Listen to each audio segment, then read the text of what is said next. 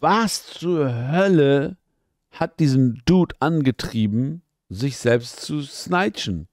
Warum exposst du dich? Also der wird doch jetzt, wenn er überführt wird, wird er nicht nur ein Leben lang reingehen. Er wird doch most hated im Knast, liebt doch jeder Pack. Jeder hört Pack. Der, das ist, es ist wirklich krank. Ich kapiere es nicht.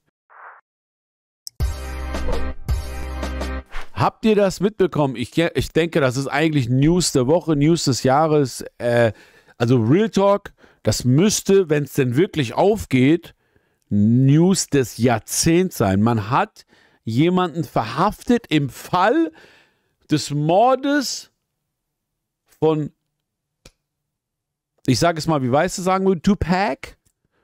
Schwarz sagen Tupac, hat Jay-Z gesagt. Von Tupac, Alter. Was ist das denn, Alter? Also, der äh, Typ heißt Kifi D. Ich habe mir gerade das Interview angehört. Kifi D soll im Auto gesessen sein, während vorne geschossen wurde. Jemand, der geschossen hat, der wurde beauftragt, wahrscheinlich von Kifi D. Wahrscheinlich war es doch Orlando. Also, die Bullen haben eine richtige Pressekonferenz gemacht. Ist Real Talk, kein kalter Kaffee.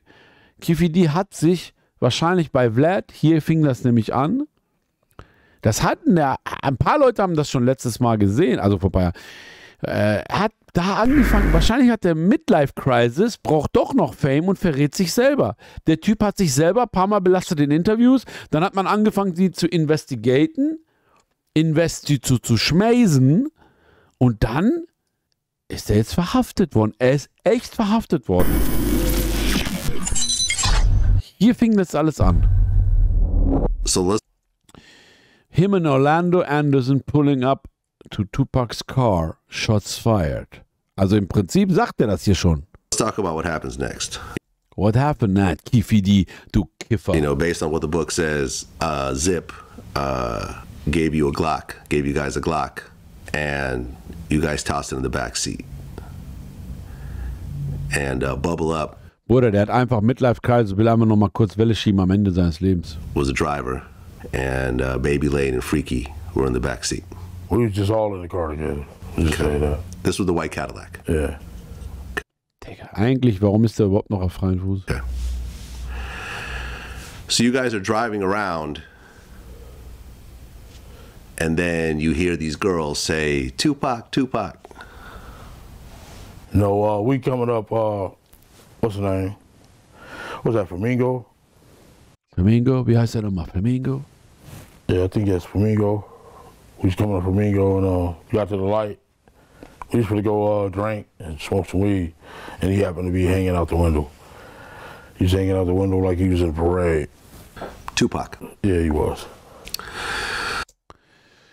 Also, ich versuche mal eine News zu kriegen.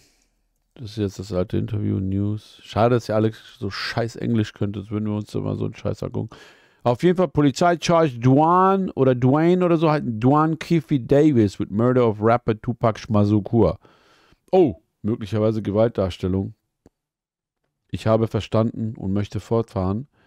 Warte mal. Adam, kriegen wir Toss? Ich mach mal kurz, Leute, ich guck's mir kurz an. Äh, sie zeigen nur die Stelle von Las Vegas. Okay. 27 years.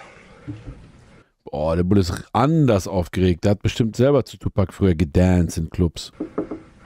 27 years. Boah, der ist richtig sauer. Ihr habt gesagt, wir Bullen von LA, wir wären korrupt, wir wären Handesöhne. Nein, 27 Jahre, wir haben ihn jetzt. 27 years, the family of Tupac Shakur has been waiting for justice. We are here today to announce the arrest of 60 year old Dwayne Keith Davis, aka Keefy D, for the murder of Tupac. Ich finde es krass, ja. leider ist die, ähm, ja, es ist total Hollywood-Drama-Vibes auf jeden Fall, Mock. Ich finde es schade für die Mutter, die ist, glaube ich, vor zwei Jahren schon gestorben. Ich das nicht mehr mit. Tupac Shakur. Prior to September 7th of 1996, as we all know, Tupac Shakur was a artist who was signed with Death Row Records. And that Death Row Records and its CEO, Marion Suge Knight, were closely affiliated with the Mob Piru criminal street gangs, and that they had an ongoing feud with the Southside Compton Crips. Dwayne Davis was the leader and shot caller of the Southside Compton Crips. On the night of September 7th of 1996, Tupac Shakur, along with Suge Knight and members of their entourage, which include members of Mob Piru, came to Vegas to attend the Mike Diese Mob Pyru kennt ihr vielleicht, weil äh, auf jeden Fall Game öfter mal darüber rappt. Wir werden über Game und Ice Cube gleich eine News haben. Tyson fight at the MGM Grand Garden Arena. Members of the Southside Compton Crips, which included Dwayne Davis, along with his nephew Orlando Anderson, were also in attendance at the same event. Ach, Orlando, ach, das wusste ich nicht. Orlando Anderson ist ein Neffe von Kiffy D.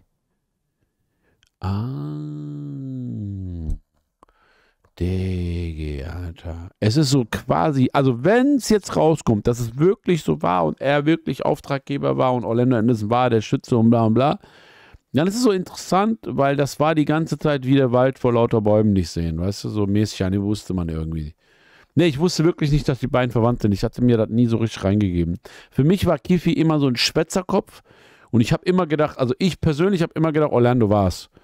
Und es ist auch nicht so, also wie man so schön sagt, manchmal ist die Antwort einfach auch leichter, als du denkst.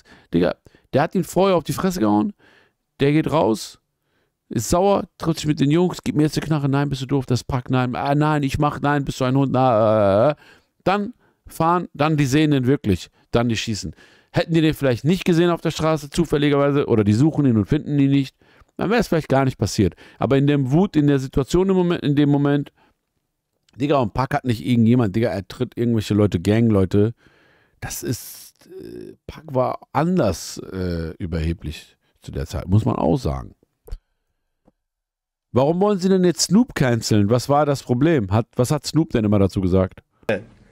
As both were leaving the fight, members of Death Row Records spotted Orlando Anderson near an elevator bay bank inside the MGM. At that time, they began to kick and punch him near that elevator bank. I will now show you hotel security footage, as many of you have already seen, related to the incident. And on this incident, you will see Tupac Shakur, who's wearing a shiny satiny shirt, with Marion Knight, who's a large man in a brown suit, punching and kicking Orlando Anderson. Ja, genau, das ist ja bekannt geworden. Das war nach dem Tyson-Kampf. Following this Da müsste Pack sein. incident, you'll see hotel security intervene, and then they will leave the area of the fight.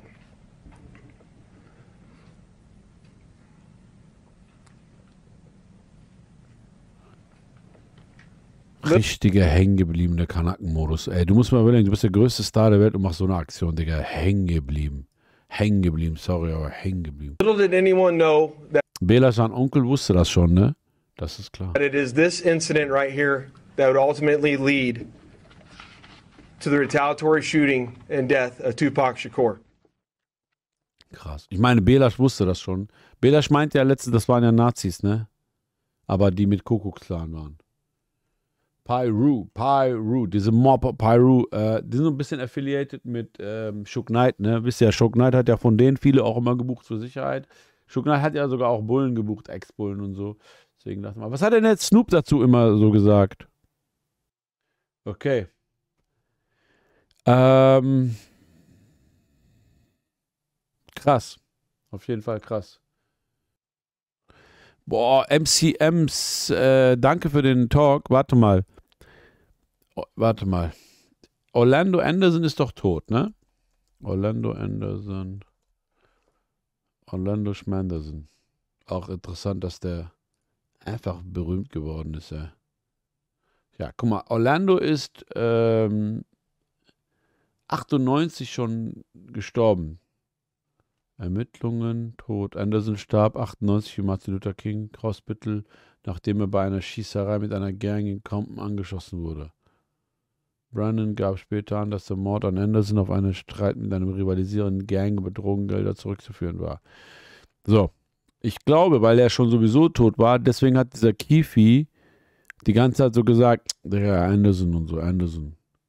Weil er dachte, ich bin auf der sicheren Seite, weil der ist ja eh schon tot. Jetzt haben aber einige gesagt, der Arm von Anderson war ausgekugelt, die Schulter. Er hätte gar nicht schießen können. Plus sein Arm sah anders aus, haben Zeugen jetzt so irgendwie gesagt. Also es war wahrscheinlich doch Keith Master Kiwi. Warum hat man aber so lange gebraucht? Wir machen gleich ähm, Böhmi. Hier was Wichtiges. Ice Cube und The Game kommen für zwei Konzerte zusammen nach Deutschland. Das wird eins nice Sache. Was ich festgestellt habe, ist, dass diese Oldschooler, auch Snoop, Snoop hat Lanxess Arena voll gemacht. 50 äh, hat das voll gemacht. 50 hat Mercedes-Benz voll gemacht. Ich war ja da. Lanxess auch. Vor Jahren, als ich die beiden gesehen habe in Deutschland, haben die nicht mal 4000 voll gemacht. 4000er Halle. Was natürlich schon viel ist, aber für das, für das, was sie drüben sind, haben die das hier nicht geschafft. Das hat aber wahrscheinlich doch eher damit zu tun gehabt, dass die Fans nicht das Geld hatten, weil ich glaube, jetzt mit den Jahren haben die Leute Bock und haben auch das nötige Geld, weil die haben anders voll gemacht. Deswegen kommen sie jetzt. Ice Cube The Game kommt für zwei Konzerte nach Deutschland. Della Soul und D12 geben zwei Konzerte zusammen auch. D12 kommt. D12 und mit Game zusammen? Das wird aber krass. Okay, dabei bringt Ice neben dem Game weitere prominente Gäste mit auf seiner High Rollers Tour. Bei den Special Guests handelt es sich um niemand geringeres als Della Soul und D12. Was für eine Mischung. Della Soul super Oldschooler und D12 natürlich die Crew um Eminem herum, die wahrscheinlich, weiß ich nicht, irgendwie weird. Ja, und D12 wird wahrscheinlich äh, D10, genau, DC10 sein, weil Eminem wird wahrscheinlich nicht dabei sein. Die beiden Rap, aber das wäre so geil, ne, oder? Äh, D12 kommt einfach, Eminem ist dabei, aber macht nur die, äh, die 12 Passagen. Die beiden Rap-Gruppen werden Ice Cube und The Game auf Deutschkonzerten in Oberhausen und Berlin begleiten. Damit schart Ice Cube pünktlich zum 50. Jubiläumsjahr von Hip-Hop einen Haufen US-Rap-Legends für seine Europatour um sich. Naja, naja.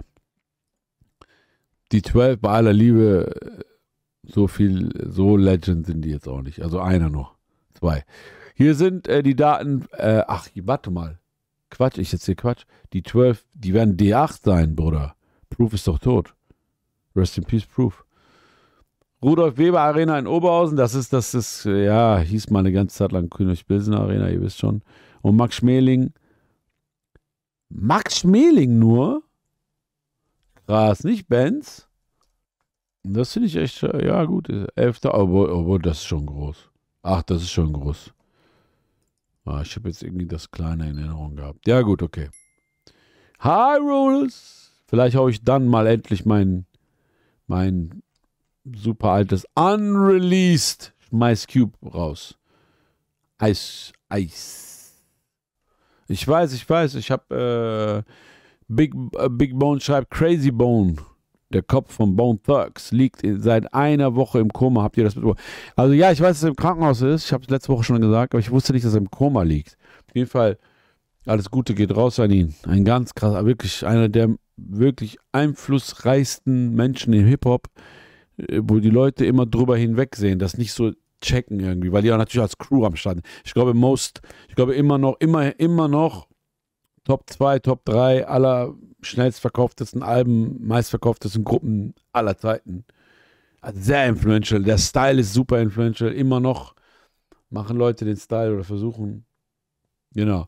Wir lesen jetzt mal äh, ein sehr, sehr interessantes Ding hier, was wir jetzt lesen werden, weil ich bin krass. Und zwar, äh, jetzt kriegen wir auch noch ein bisschen Backinformationen zu Hausdurchsuchungsmoves. Und sagt, Polizei nimmt mutmaßlichen Mörder von Tupac Shakur fest. Anklage nach 27 Jahren von der Frankfurter Allgemeinen. Vor 27 Jahren wurde der Rapper Tupac erschossen. Nun soll sich ein früheriger Gangchef dafür vor Gericht verantworten. Der Mann stand bereits vor Jahren in dem Fall schon unter Verdacht. So. All Eyes on Me ist ein 60 Jahre alter Mann in Las Vegas, USA, Nevada festgenommen worden. Okay, nochmal. Äh, rund 27 Jahre nach dem Mord an dem berühmten Rapper, schreibt die FATS, Tupac Shakur, in Klammern nochmal ein Album, falls du nicht weißt, wer das ist, All Eyes on Me, ist jetzt ein 60 Jahre alter Mann in Las Vegas in US-Staat Nevada festgenommen worden. Das Interessante ist, in Las Vegas wurde er umgebracht. Der Penner lebt da immer noch. Ist der so dumm? Egal. Der frühere Gangchef sei zuvor von einem Gerichtsjury unter anderem wegen Mordes mit Gebrauch einer tödlichen Waffe angeklagt worden, teilte Polizei und Staatsanwaltschaft am Freitag Ortszeit in Las Vegas schon mit. Er sitzt in Haft. Eine vorübergehende Freilassung auf Kaution sei von seinem oder von einem Richter abgelehnt worden. Der 60-Jährige stand bereits seit vier Jahren unter Verdacht mit dem Mord an dem damals 25-Jährigen preisgekrönten Tupac in Verbindung zu stehen, beziehungsweise Drahtzieher der Tat zu sein. Der nunmehr Angeklagte selbst hatte in den vergangenen Jahren mehrfach öffentlich darüber gesprochen, dass er in dem jeweiligen, in, Entschuldigung, in dem weißen Cadillac gesessen habe, aus dem 96, 1996 die Schüsse auf Shakur abgefeuert wurden. Er sei der einzige Insasse aus dem Auto, der noch lebte. Nein, Quatsch. Andersrum. Er sei der einzige Insasse aus dem Auto, der noch lebe, hat er in Interviews gesagt und auch in einer Autobiografie geschrieben. Die tödlichen Schüsse selbst habe sein Neffe abgegeben, hatte der 60-Jährige betont. Jene war 98 selbst bei einer Schießerei ums Leben gekommen.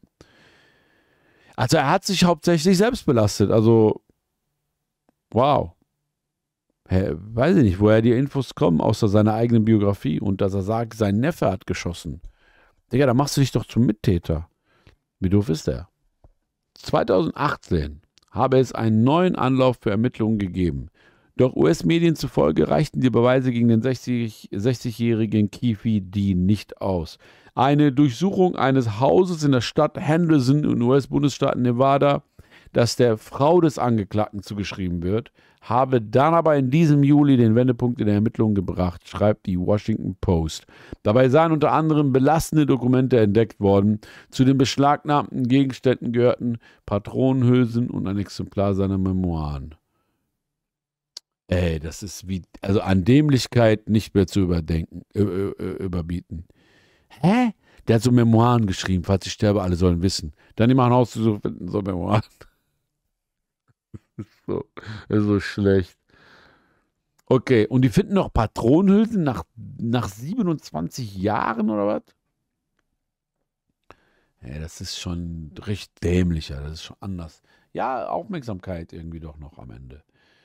Racheakt im Konflikt zwischen zwei Gruppen. All dies habe die Information bestätigt, dass die Polizei während der Ermittlungen gewonnen habe hieß es auf der Pressekonferenz am Freitag. Der Angeklagte habe am Abend des Verbrechens seine Waffe besorgt und sie dann im weißen Cadillac zu den hinten sitzenden Männern gegeben. Zitiert CNN den für Mordfälle zuständigen Beamten Jason Johansen. Seine Worte zufolge habe es sich um einen Racheakt nach einem Konflikt zweier Gruppen gehandelt, wobei der 60-Jährige zu einer und Tupac Shakur zu der anderen gehört haben. Über die genauen Hintergründe dieser Rivalität schrieb CNN nichts. Shakur gehörte zu den erfolgreichsten Rap-Künstlern der 90er Jahre. Im September 96, als er in Las Vegas in einem Auto sitzend angeschossen wurde und wenige Tage später starb, herrschte Auseinandersetzungen zwischen rivalisierenden Rappern der Ost- und Westküste. Nur wenige Monate nach Shakur wurde auch der Musiker Notorious B.I.G. erschossen. Auch sein Tod ist Medien zufolge bis heute nicht aufgeklärt. Familienangehörigen des Rappers zeigten sich verhalten, ob nach der Festnahme nun der Mord an dem Musiker aufgeklärt werde und sie nach 27 langen Jahren Frieden finden können. Die Nachricht von der Festnahme des Mannes sei bittersüß, sagte Tupacs Stiefbruder Moprim Shakur, wie der US-Sender äh, CNN berichtete. Warum jetzt? Zitiert CNN ihn. Für uns ist das noch nicht vorbei. Wir wollen wissen, warum und ob es Komplizen gab. Schwester entscheidender Moment. Tupacs Schwester Sekiva Set Shakur, man nennt sie Set, bezeichnete die Anklage als einen entscheidenden Moment, wie US-Medien aus ihrer Erklärungen zitierten. Sein Leben und Tod sind wichtig und sollten nicht ungelöst bleiben, wird sie zitiert. Also ja, der heutige Tag ist ein Sieg, aber ich werde mir das Urteil vorbehalten, bis alle Fakten und Gerichtsverfahren abgeschlossen sind. Habt ihr ein Bild von ihr im, im Kopf? Wisst ihr, wie die aussieht? Das ist auch jemand, der sehr wenig in den Medien so, so nicht so mäßig am Start. Da ist sie. Was macht die eigentlich? Weiß das einer? Das ist eine von Chakurs Familie am wenigsten. Ich weiß sogar, sein Stiefvater wusste ich, dass er im Knast war und bla bla, aber von ihr habe ich so gut wie nie was mitbekommen. Tupac Foundation, ja. Und Halbschwester. Ja, es juckt halt irgendwie weniger jetzt im Moment, ne? Alles ist vorbei irgendwie, aber gut. Millionen Fans weltweit verehrten den Rapper und seine Musik noch immer. Erst im Juli war ein Ring, der Shakur selbst entworfen hat und bei seinem letzten öffentlichen Auftritt getragen hatte in New York für eine Million Dollar versteigert worden. Wir wissen alle, Drake hat es gekauft. Nach Angaben der Auktionshauses Sotheby war das die höchste Summe, die jemals bei einer Auktion für ein Hip-Hop-Erinnerungsstück bezahlt wurde. Hier oben habt ihr gleich für mehr als eine Million. Drake kauft Schmupacks Rings. Ring von Schmupack. Ist das ihr Schminster? Tatsächlich. Wild Seed said This is no doubt a pivotal moment. The silence of the past 20,000 years surrounding this case has spoken loudly in our community. It's important to me that the words, the country, the justice system, and our people acknowledges the gravity of the passing of this, this, man, my brother. Ja, ich meine, bisschen hier, bisschen, bisschen Also ist schon krass irgendwie, ne? Man, man liest das, man ist für mich jetzt eine News, ist krass, dies, das, Ananas. Aber wie krass muss das für dich sein, als Schwester, als Bruder, als Familie? Irgendwie, weiß ich nicht, ja, das ist schon heavy, ja. Naja. Wildes Foto hier. Ich mal ein Like da lassen. Ja, crazy eigentlich. Was für ein Typ, oder? Also, die schreiben so einer der besten oder der größten Rap-Artists in den 90ern. Oder? Ich weiß nicht, ob es einen anderen Rap-Artist, was heißt Rap? Einen größeren, einen, einen Star gab wie ihn, der so influential war. Also er ist für mich auf einer Linie mit, äh, mit Muhammad Ali. Keine Ahnung. Das ist schon mehr als Musik, viel mehr als Musik. All time. Also viel, also ist viel mehr als Musik. Also von mir aus hier, da, andere sind musikalisch am Start, dies, das, Ananas. Aber es ist krass, Mann. So. Ich hoffe, also man kann ja, also das einzig Gute daran, wirklich das einzig Gute ist, dass, dass äh, Tupac nicht mehr lebt. Also wenn, wenn man wenn es etwas Gutes daran gibt, dass, dass wir uns heute nicht reinziehen müssen, dass ein Album auf Autotune rausbringt. oder dass er sich so Twitch macht oder so. Ja, ich mache Spaß. Aber ja, man, es ist verrückt. Man kann sich das ja auch gar nicht vorstellen. Würde er heute gecancelt werden für die Aussagen? Ich weiß es nicht. Ich meine, er ist ja auch, ihr dürft nie vergessen, dass Pack sehr viel intelligenter war und belesener war als viele, viele seiner Begleiter, seiner, seiner Zeit, also, also der, wie sagt man, Leute, die mit denen waren. Es gibt ja so einen Ausschnitt aus dem Film, ich weiß nicht, wie realistisch das ist, dann sagt er zu Biggie, du musst lesen. Deckerchen, du musst lesen, Bücher sind die Macht. Zum Tod von Park gab es ja jetzt den Kifidi. Ihr wisst, Kifidi wurde festgenommen, jetzt endgültig. Unser großer Hero. Hero. Aber auch Hero, der Gangster-Rap-Erfinder, Vater von Gangster-Rap, Ice. To the motherfucking T. Mit dem Freedom of Speed I see freedom of, freedom of speech. Hat Kritik an die Polizei. Infolge der kürzlich aufgetretenen Verhaftung im Mordfall von Schmupack haben sich neben der Familie auch andere Akteure zum aktuellen Geschehnissen geäußert. Wie unzählige andere erfuhr auch West Coast-Legende Ice am vergangenen Freitag von der Verhaftung und Anklage gegen Duane Keefe D. Davis, Duane. Nun bezieht der Cup Killer Rapper bei allhiphop.com. Ganz ehrlich, er hat bessere Songs als Cup Killer. Lass diese. Free, Freedom of Speech ist der Song von ihm. Ist das der Song? Stellungnahme zur Verhaftung und kritisiert dabei das langsame Vorgehen der Polizei. Ja, das ist klar. Ich verstehe nicht, warum die Behörden so lange gebraucht haben, wird er hier zitiert. Ice könne nicht verstehen, warum die Justiz erst jetzt zugeschlagen habe. Nach Meinung des Rappers habe Kifi D einen großen und offensichtlichen Fehler begangen, indem er wiederholt über die Tat und ihre Umstände gesprochen hat. Unter anderem bei Vlad TV, Leute. Davis hat in zahlreichen Interviews über seine Involvierung in dem Fall gesprochen. Selbst in seinen Memoiren, die unter dem Namen Compton Street Legend erschienen sind, hat Kifi D ausführlich über seine Rolle in dem Attentat an Pack gesprochen. Wer von euch kannte das? Compton Street Legend. Kannte ich nicht, das Scheiß.